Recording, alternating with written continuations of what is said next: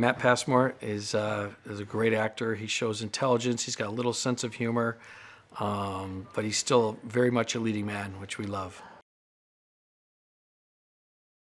After seeing Daybreakers uh, and Predestination, they're absolutely perfect. Um, they'd worked with Lionsgate before.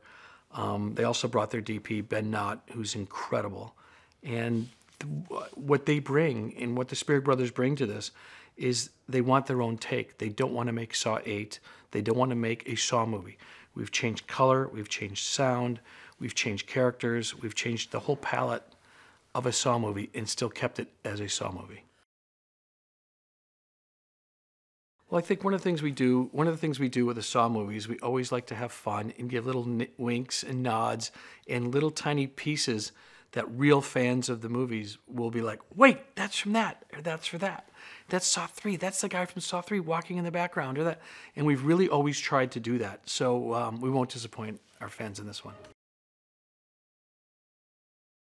One of the things we really tried to do in this one is get back to Saw 1. Which what was some of our favorites? A lot of ours our favorite one. And not because it's the first one. And I think in Saw 1, there was a lot more thinking and a lot more jumps rather than blood and gore. And so we really tried to get back to Saw 1 in jumps, in scares, and a lot more logic. The reason I think Jigsaw's an icon is because he's not a slasher. He doesn't kill. He doesn't run around through forest. He's not getting a girl in the shower. He's not doing where everyone's screaming at the theater. He's behind. And he's actually a real thinker. He's an engineer. When you're talking about Jigsaw and you're talking about John Kramer, is he the protagonist? Is he the antagonist? When you talk about in real film structure, is he the hero or is he the villain?